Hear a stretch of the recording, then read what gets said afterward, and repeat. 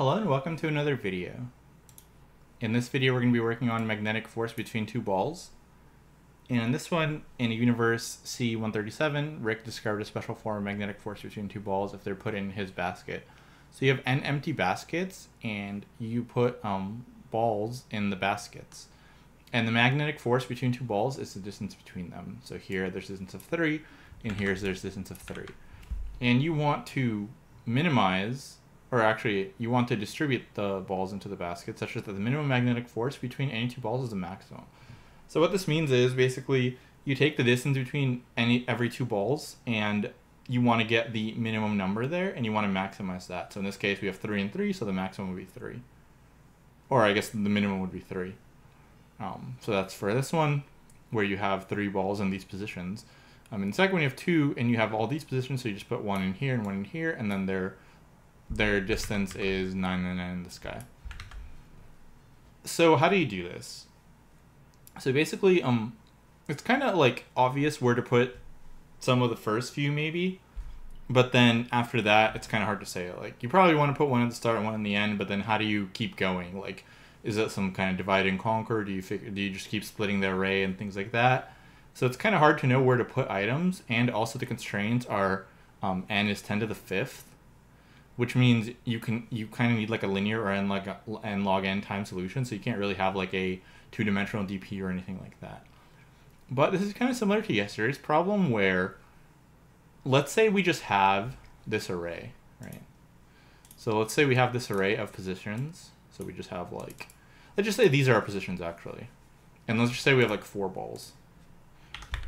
And let's say we want a distance of three so we want a distance of three, um, and we have four balls, and we're trying to place them. And we're instead of figuring out like where to put them, let's just say like, is this possible? So we have four balls. We want a distance of three between all of them, and is this possible?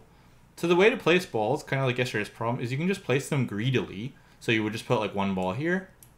Then you want to make sure you, the second ball goes in a distance of three away, which is easy because we can just record the previous place we were at. So like basically we would just record this zero here. So we'd say like, okay, we have a ball at position zero.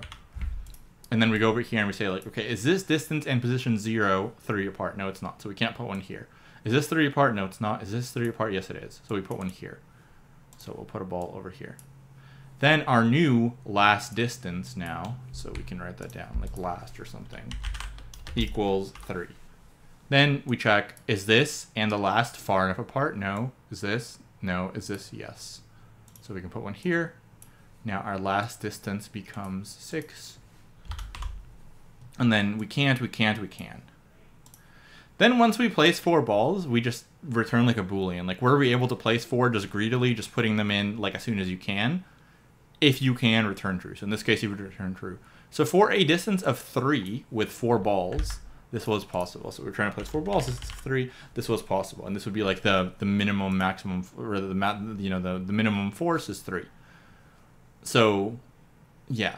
Now there might be some indices missing, so you might have to place things a little further apart. But basically, you just you just try to put in greedily as soon as you can. Put one in, you just put in, and keep going. So this is possible. So if this distance is possible, that means smaller distances are obviously possible because if you put balls closer together, they don't need as much space, right? So if you could put them in with a distance of three, then a distance of two will be possible, a distance of one will be possible, and so on. But we're trying to maximize this number.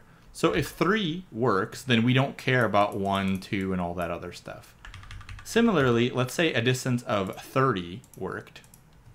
Then we don't care about like 1 through 29 because we're trying to maximize this guy. So if this worked, if this was true, then these don't care, and we can just look at the higher ones.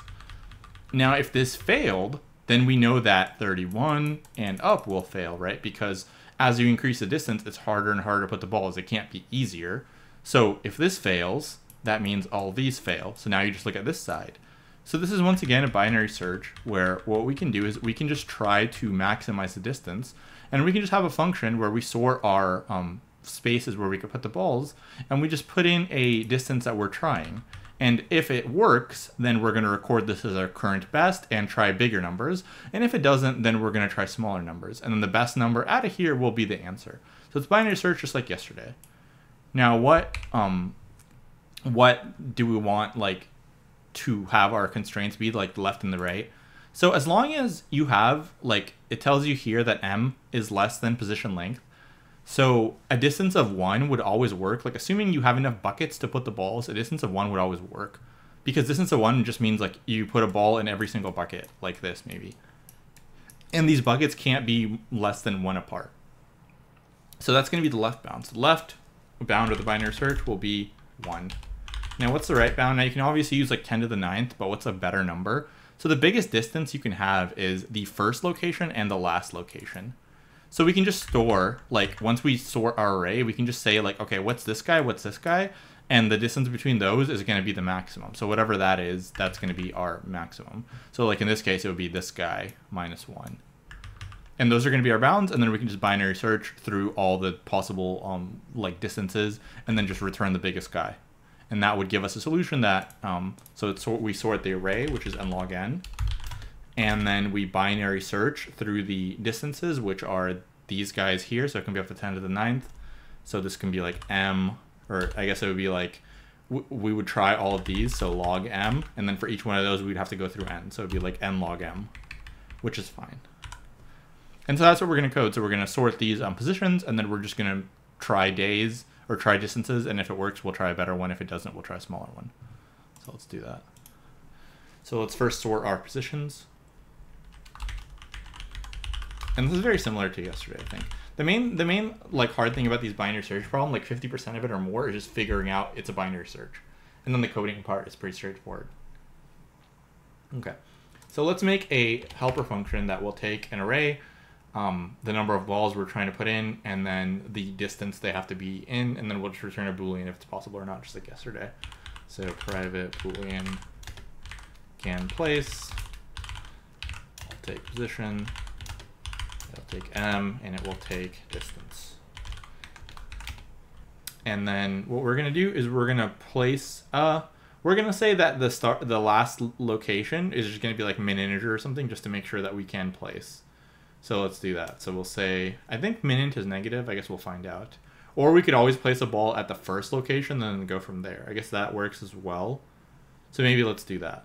Yeah, so we'll say like uh, int result equals one, and then int. Or I guess let, us try. Let's try. Let's try using the the min integer. So int last location equals. Um, so this is Let's put in this. I think it's like integer min value or something.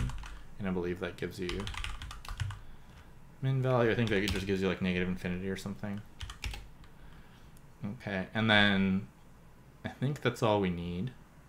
So now we're going to go through our positions and make see if we can place it. So for int location maybe in position um, if location minus last location if this distance is greater than or equal to distance, then we can place here.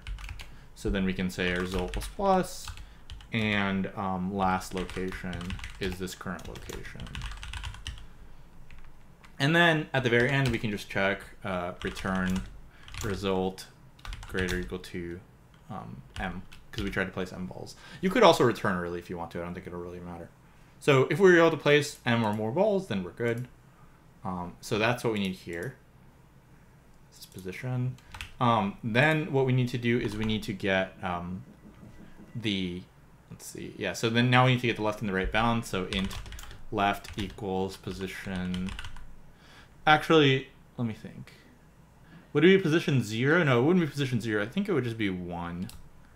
Yeah, I think it would just be one. And then right means you place a ball at the start and the end. So that's where you would do it. So int right equals position uh, position length minus position zero, right? So if you place one at the start and the end, that's the biggest distance you can have. Okay, now we'll just say result equals one, and we'll try to maximize this. And we'll do a binary search. And pivot equals now this might get like an overflow or something, so we'll see what happens because like the position length. I don't think it will, but we'll find out. Um, so int p equals uh, left plus right minus left 2 if can place, so this is like the distance we're trying, so that we'll pass in position, we'll pass in M, we'll pass in P. If we can place with this distance, that means that we should record it because this is our best result so far. So int equals P, and then we'll try bigger numbers. So left equals P plus one. Otherwise, we'll try smaller numbers. And we just return result at the end. Let's see how that goes. See if we get any issues. Okay, so we're getting one. So yeah, I do think it's somewhere here. Location. Oh yeah, I think what's actually going on here is um, location minus last location is overflowing. Because if this is already like the biggest value you can have when you minus when you minus it, it will add it will basically add the positive version of this, which will overflow. So we can do this, or we can initialize it to something else, but I think this should solve it. Yeah, let's find out. And then this would just get converted to a long, so it'd be fine. So I guess, yeah. Okay, and I think that's good now. Okay. So, yeah, this is pretty efficient, and yeah. Okay, so let's do the time space. So, we're sorting the position, which is O n log n. And then for every single um like distance we try up to uh, I think this is like maximum. Yeah I guess this is basically like the maximum of position is going to be the um like biggest you can try. So this is going to be like max position or something we'll be doing the log of this because we'll be trying all of these numbers and then for each time we do that then we do we we run through the whole array n something like this, and then space is O of one, because we didn't use anything else. We just handle all this stuff in place. You can like place stuff in an array if you want to, but it's not necessary. You can just write down the last location you placed at, and that works. Yeah, so very similar problem to yesterday, and like I said, the biggest thing is recognizing it's a binary search, and recognizing when you place the balls, you just want to place them greedily, and that's always going to be best. And I think there's like a can place flowers or something, which is like basically that problem if you want to look into that. But yeah, um, if you if you're not sure if it's best to always place them greedily, just try to come up with a counterexample, and then you should realize that you can't. Yeah, it's gonna be all for this one. Hopefully you liked it. If you did, please like the video and subscribe to the channel. And I'll see you in the next one. Thanks for watching.